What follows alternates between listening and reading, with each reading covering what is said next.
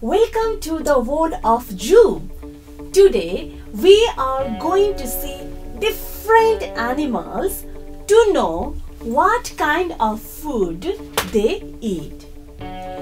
We all know that different animals eat different food. Some eat plants, some eat insects, some eat flesh of other animals, right? So, are you all excited to know about this more? Okay, then let's get inside the zoo. See here? What are these? These are cows. They are eating grass. Now what next? See there? There are deer. They are also eating plants. So, my dear friends, those animals who eat plants are called herbivorous animals. Pronounce it once again. Herbivorous, okay? Animals like cow, deer, buffalo, goat are herbivorous animals. Now let's see more animals. Hey, be alert. See there, there is a tiger. It's eating flesh of other animals. Let's not disturb.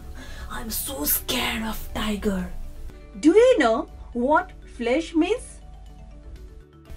It means meat.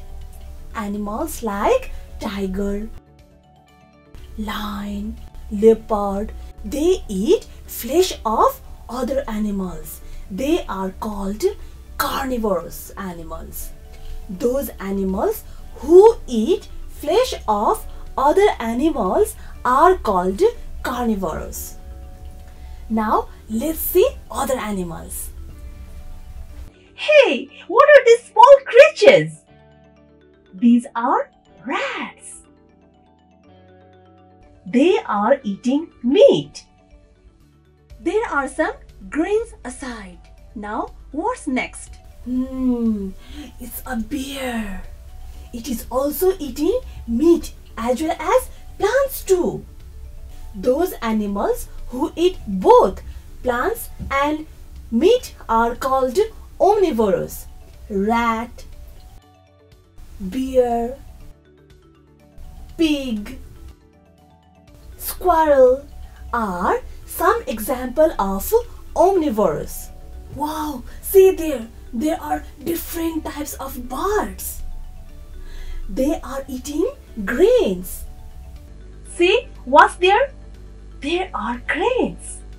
They are eating insects. And do you know? They eat plants too.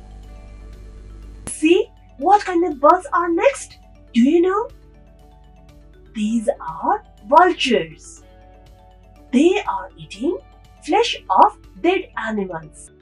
So friends, today we saw different animals eating different kind of food and we also learned that animals can be divided into three categories according to their eating habit. They are herbivorous, carnivorous and omnivorous, right? Now I have work for you. You have to write 10 animals each of three categories. I hope you can easily do it. Bye for now, my friends.